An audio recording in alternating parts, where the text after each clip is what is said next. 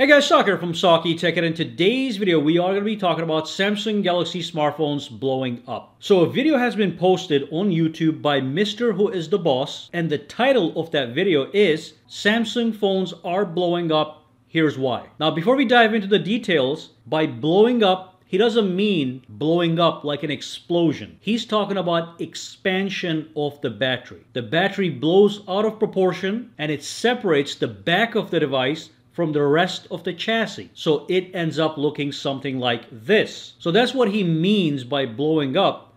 But this in return could lead into an explosion because it is dangerous. In this video, I'm to show you guys quickly how to check the status of your battery using the built-in software in the Samsung phone. And I do want to let you know this is not a 100% scientific check, but hopefully it gives you positive results as far as your battery health is concerned. And also want to emphasize that in his video, he does mention that this is happening to older Samsung phones that have been in storage, like the S6, the S10, and the Note 8. But he did have a problem, a similar problem with a recent phone which is a Fold 2 that is now two years old. Now in his video, he also had MKBHD. They have had a similar problem and only with Samsung phones. Now I do want to let you know that this should not be a big cause of concern for most consumers because consumers do not store away their smartphones like some of us YouTubers do. So this may or may not be a big issue. The sample size is too small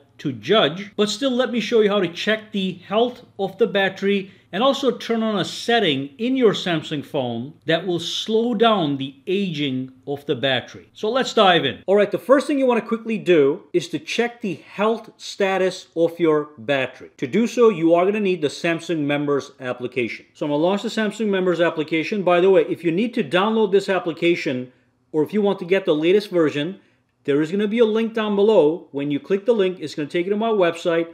You want to scroll down just a little bit. Under download, you want to click this link. It'll take you straight to the store from where you can install or update Samsung members. So once you open this up, at the bottom, you want to go to support. Once you're in support, you're going to see diagnostics. You want to tap on tests.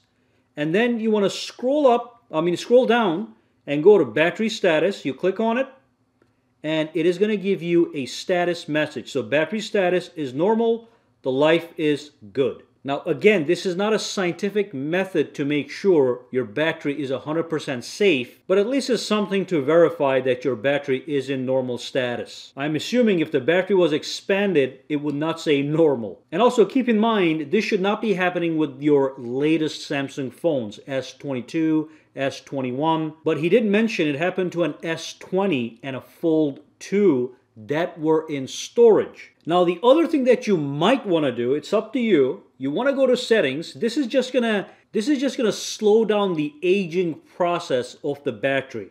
So you go to settings, you go into battery and device care, and then you go into battery, and then you go into more battery settings, and you can enable this feature here, protect battery feature.